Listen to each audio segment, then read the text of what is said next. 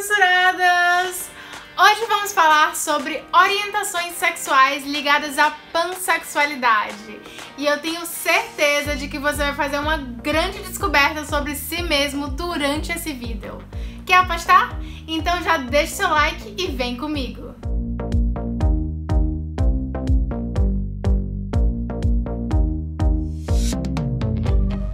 Quando a gente se dá conta de que não é heterossexual ou não é cisgênero, a gente é bombardeado com aquele mundo de dúvidas na nossa cabeça em relação a o que, é que a gente é, é o que, é que a gente sente, como a gente se sente em relação a si e aos outros também, do que, é que a gente gosta. E aí começa aquela grande busca por um rótulo pra gente se identificar. Se você tá passando por isso, confere aqui no card a série de vídeos que eu fiz sobre questões LGBTs e as diferentes sexualidades. O fato é, esses rótulos são muito bons para a gente se entender e perceber é, que existem pessoas como nós. Mas ao mesmo tempo, tomem cuidado para não se limitarem a esse rótulo, sabe? Dito isso, hoje eu trouxe algumas orientações sexuais mais plurais. Ou seja, onde você sente atração por mais de um tipo de pessoa. Começando por multissexual ou plurissexual, que seria uma espécie de termo universal para as pessoas que se sentem atraídas por mais de um gênero. Então, pode ser aquela galera que é bissexual, pansexual ou polissexual. Ah, e essa bandeira da multissexualidade é exatamente essa junção das bandeiras bi, poli e pan. Comenta aqui embaixo se você acabou de descobrir que é multissexual. Inclusive, tem até um filme brasileiro chamado A Margem de Nós Mesmos que fala sobre a plurissexualidade. Ele narra a história de Lívia, uma mulher que termina o seu casamento com um marido viciado em jogos e alcoólatra.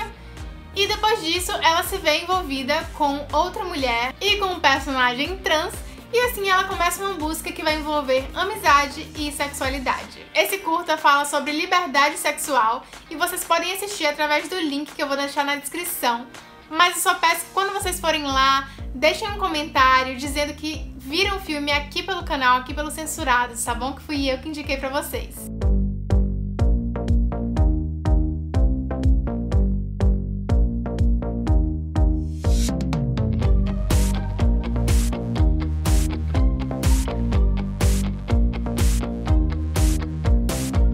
Bom, mas eu falei no início sobre polissexualidade. O que, que é isso? É a orientação sexual de quem sente atração por várias pessoas de diferentes identidades de gênero. Mas isso não significa que elas são atraídas por todos os gêneros, tá? Então a diferença entre poli e pan é justamente que poli significa muitos e pan significa todos. Entendeu?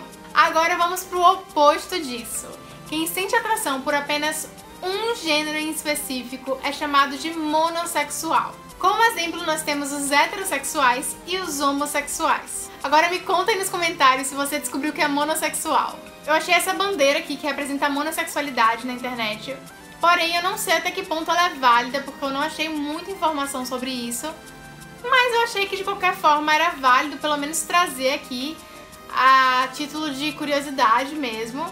Se vocês acharem mais alguma coisa sobre isso, manda aqui nos comentários, tá bom? A próxima orientação é a androginosexualidade. Nesse caso, a pessoa sente atração especificamente por qualquer pessoa que tenha traços ou aparência andrógena.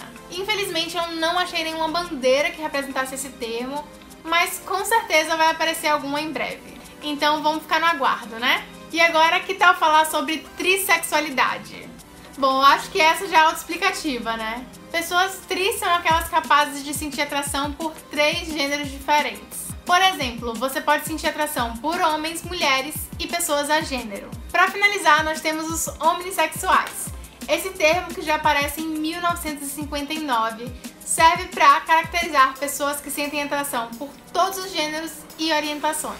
O termo é frequentemente usado como sinônimo de pansexualidade, mas tem uma pequena diferença entre eles dois. Os pansexuais costumam dizer que não veem o gênero das pessoas ou que não levam o gênero em consideração. Ou seja, eles se sentem atraídos por qualquer pessoa, independente do gênero. Já os omni afirmam que são pessoas inclusivas de gênero.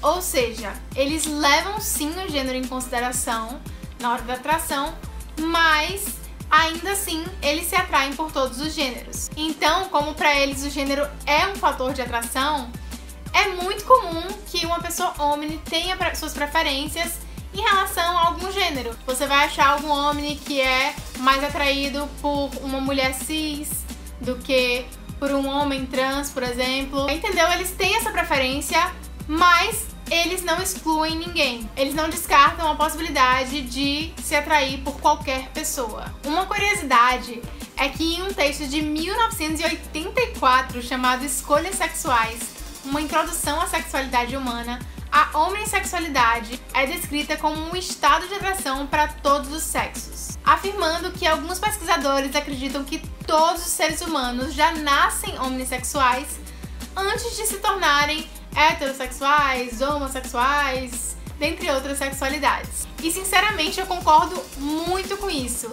Eu acho que essa questão de ser hétero, lésbica, bi é mais. tem mais a ver com o nosso tipo, sabe? Assim como preferir garotas morenas ou pessoas bem-humoradas. Porque é lógico que a gente tem preferências, tem fatores que levam a gente a se sentir mais atraída por alguém, mas será que realmente dá para você chegar hoje e descartar alguma possibilidade para o resto da sua vida? Me conta aqui nos comentários o que é que vocês acham disso. Se você chegou até aqui, não se esquece de se inscrever no canal e ativar o sininho para receber os três vídeos semanais que eu trago aqui no Censuradas toda semana sem falta. Aproveita e me segue no Instagram que tá aqui na tela para receber conteúdo inédito e se inscreve também no meu outro canal que é o Vic Fequine Atriz. Assim a gente vai ficar mais pertinho, tá bom?